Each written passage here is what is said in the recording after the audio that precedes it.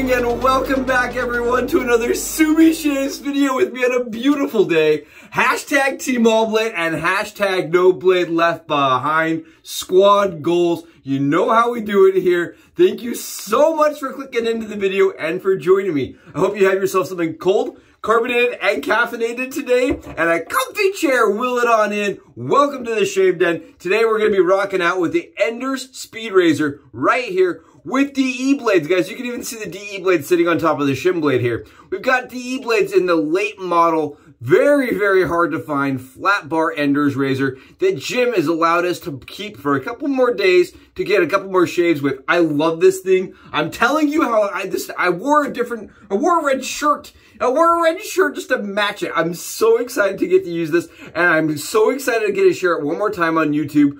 This right here is amazing. It's an incredible shaver. It's very mild. And compared to the open comb variation, it's much harder to find. I can tell you guys, I've only seen like two or three of these.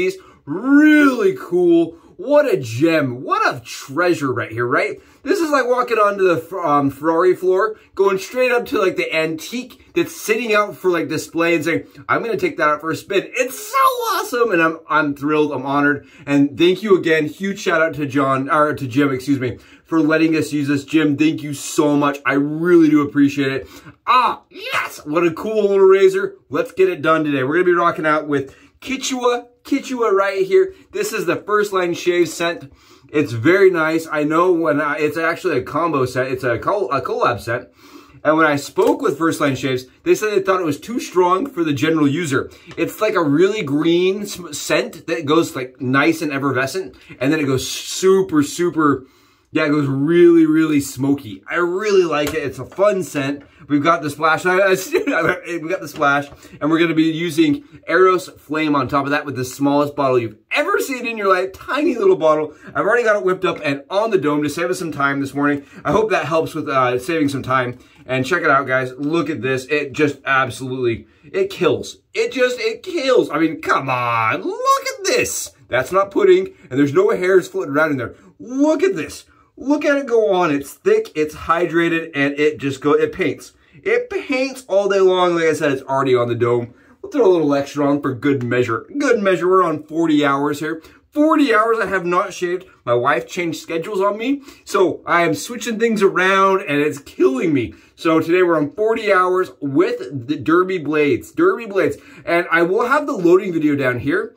It's very simple. It's, it's the exact same way I've always loaded my enders up with the DE blades. I make sure that has a little bit of a wing, a little bit of a curve to the blade with snapping. Do that in paper. Don't do it like I did with the blade exposed. I did that so I could showcase what's happening. Do it in the paper. It's much safer. Um, and we're going to start shaving here. This right here, I want to show you guys before I start shaving actually. Look at the blade exposure and look at how the, the look at the gap here. I'm trying to get that. I hope that gets on camera. Does that help? I want you guys to see where I run my blade because you can adjust where the blade sits. I need it to be pretty far forward. Yeah. To get the most out of the Enders Speed Razor with the flat bar. Now with the open comb, I don't have to run it as that far forward. But with this one, I've really found I need to. This is a hyper smooth, extraordinarily smooth, very efficient razor. Very efficient, very comfortable. I was noticing how comfortable this razor is. In the hand, on the skin. Very nice from the 30s. It is from the 30s. It was produced in Mystic, Connecticut.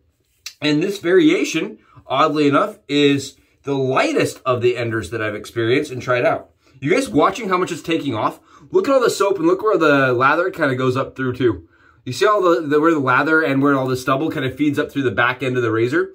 I think this is really cool. I think it's a really awesome way it feeds the lather. The little lather beard goes up and around and through the back end of the razor. Really cool. It is a razor that I don't do a ton of pressing with because you don't really need to for it to be smooth and efficient. While at the same time, yeah, it's very, very, very nice. Very comfortable. Very easy to use. Very nice. It's very fun to pick up. I won't, I won't lie to you guys. It's really fun to pick up. Oh, yeah. Again, huge shout out to Jim, who found this antique shopping. Seriously, when I go out antiquing, I find 45 Rolls razors. That is it. Rolls razors all day long. And the seller thinks that he has just hit the jackpot with them. And he wants $9 million for the Rolls razor. Every single one of them. I had one person tell me, well, it's like the Rolls Royce razor, so it should cost as much, right? And I was like, no, no, it should not cost as much. The Click Clack razor, as my wife refers to it as, should not cost $9 million. And like, oh, for sure, I know what I have. So Jim found this out antiquing, which is craziness, right? That's like equivalent, and I apologize, Sophie's with me today. Uh, she was not going to sit outside the door, but it's like going out and finding a leprechaun's pot of gold. And I reached out to Jim and I said, you know, don't have somebody uh, buy that for me for $5. You know, don't have somebody reach out and say, oh, it's not that good, I'll give you five bucks, which I don't think would happen, but I wanted to make sure it didn't right? I just wanted to throw a little bit of goodwill and good uh, karma into the world and said, you know, make sure you understand how rare and how fortunate you are to have found something that was so limited, right? These were usually shipped with open combs. They had like an open uh, open comb bar. Really nice, man. Really sweet. Really good shave. And I want to show you guys, we're not having any blade play, right? You see that? It's really important to mention that the blade's not moving around on 48 hours or 40, 40 something hours of stubble here. That's really important that it's not, you know, moving around on me and like going all over the place. And that it's safe, it'll be safe for you. I think really the key is making sure that the mouth of the blade, the, the curve of the blade goes downwards. You don't want it going up into the top of the razor, you want it going down into the blade, which is going to help stabilize things. Really smooth shave. Very smooth, very comfortable. I think what I love about this is how fast I get a BBS shave and how comfortable the shave is. I do find the later edition of this razor to be just a tad milder than the open comb earlier generation, the pre-40s generation. So this is like a post. This is like a late 40s. And my um, early 30s variation of the Enders is definitely more bitey more bitey, and uh, it's a lot. It's it's like probably three steps up in efficiency. This feels to me like a two or a three on blade fill, and like a four on efficiency, four to five. So it's still offset, but the other one's like a six and an eight or something. Look, there you guys go. Look at it. It's killing it. It's killing it.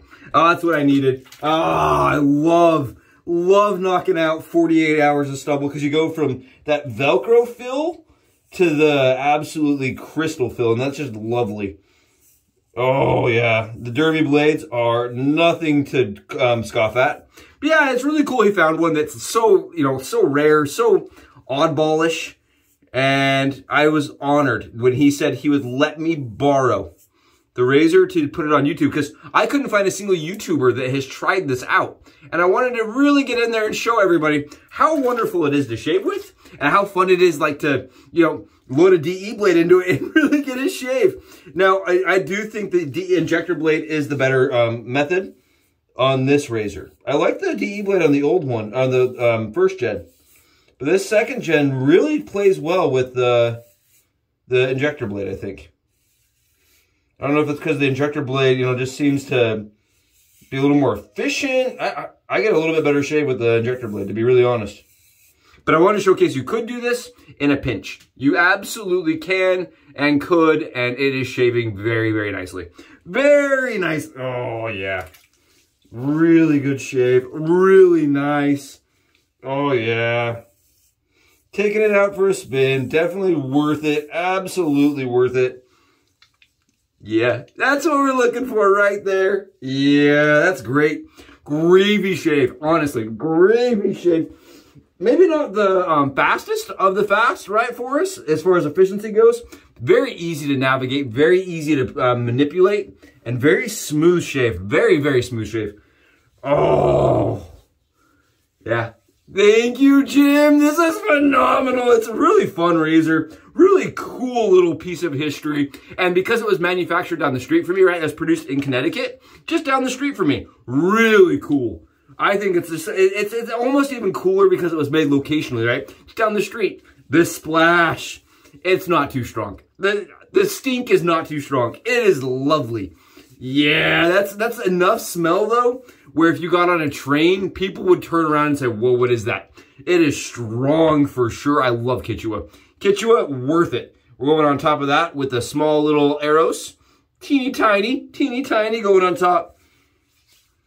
Oh, it's interesting how well that pairs. I don't know if it was like meant to pair well with that, but Eros Flame really works well with it. What a shave. What an awesome, comfortable, close BBS, beyond BBS actually. We are very, very close. Yeah, it's a good shave. Thank you guys for joining me for it. It was awesome having you here.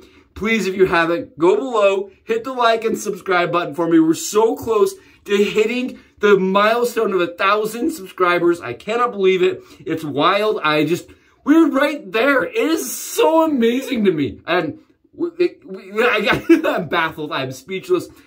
Guys, I can't tell you how much I appreciate it. It blows my mind.